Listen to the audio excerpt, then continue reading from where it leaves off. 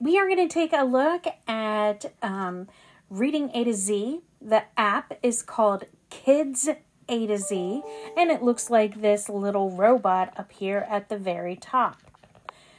When you go to log in, you're going to tap the app.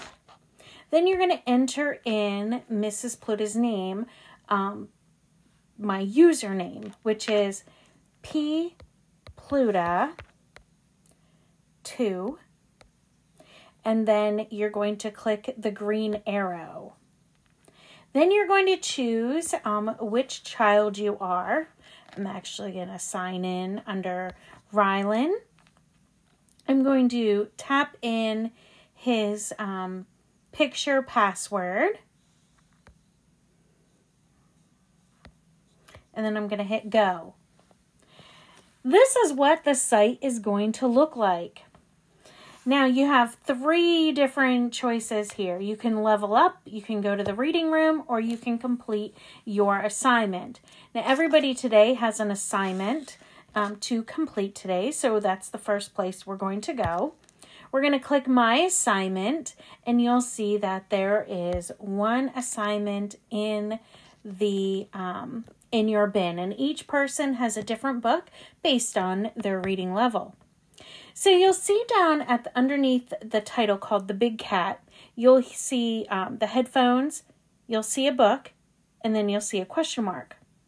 You need to complete each one of those activities in order to get credit for the book. So the headphones means when you tap that, the first thing you're going to do is you are going to listen to the story. Then, when you tap the book, you are going to see up here the little microphone. You are going to press that microphone and you are going to do the best job you can and you're going to read the story. And you're going to read that out loud, recording yourself. Okay. Then, when you're done, you're going to take the quiz. And the quiz is going to ask you questions on the um, story to see how well you remember the things going on in the story.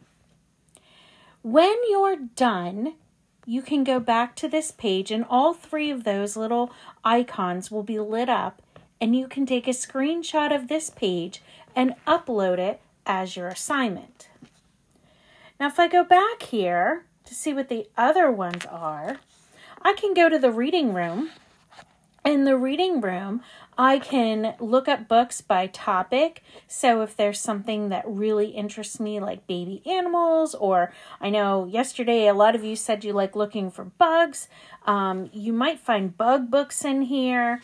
Um, there's all different types of books that you can um, listen to, read, and then answer questions to. Then, if I go back here to level up,